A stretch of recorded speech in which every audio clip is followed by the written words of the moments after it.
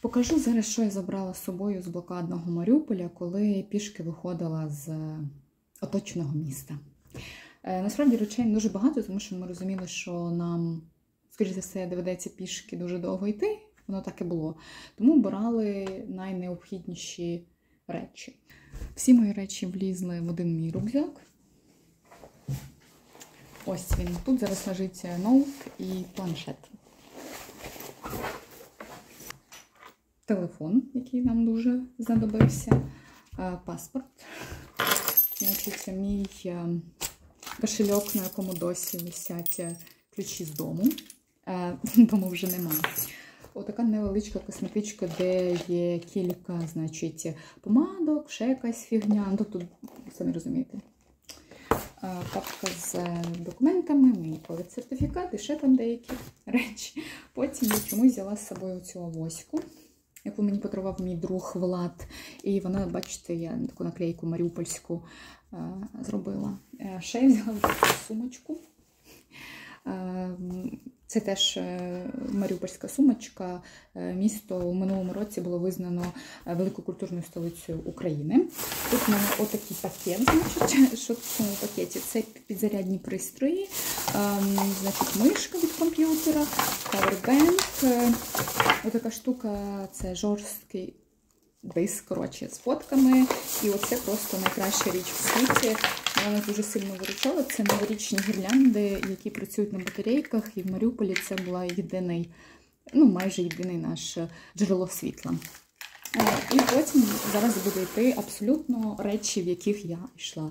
Ось мій шарф такий красивий маріупольський. Ось моя шапка. Є отака в мене курточка, я її одягла, тому що було дуже холодно.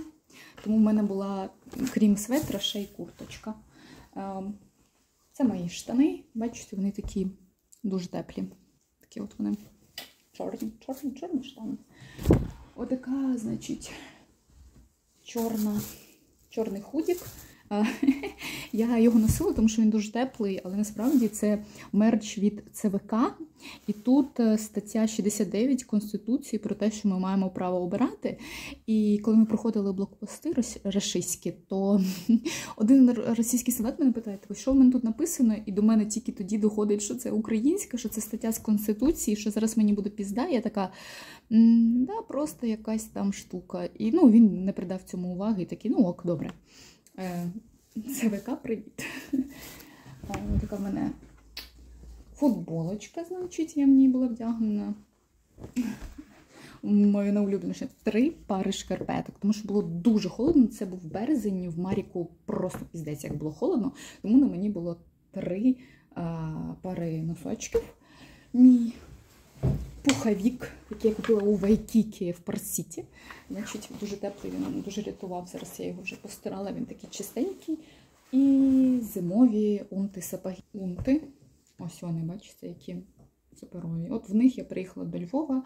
У Львові зразу вони такі плюс 15. І я така, а, я зараз жарюся, в мене нема життя. І я ще забула, що насправді в мене була ще одна сумка. Я не знаю, чому я напхала в рюкзак ще одну сумку. Це теж ЦВК. Просто я не знаю, на що я набрала три сумки з собою замість фотографій старих. Але факт є факт. Ну, от просто уявіть собі ситуацію, що ви кидаєте око на свою квартиру, і вам треба брати якісь речі, які вам треба забрати, і ви розумієте, що ви, можливо, ніколи не повернетесь додому. Тому треба збирати речі. І ось це все, що я вибрала забрати з собою.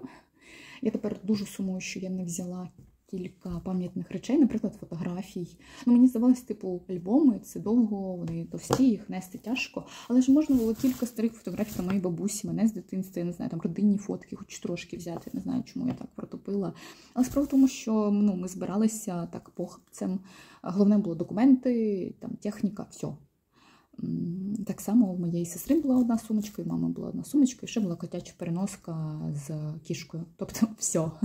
Всі наші речі, які ми з собою брали. Жодних валіз, там ще щось, тому що ми, ну, по-перше, нашу квартиру 10 березня розбомбили, і там важко було щось забирати. По-друге, ми Ми пішки виходили з міста на Мілекіна, і тому якісь великі клуні нести було ну, нереально. Якось так.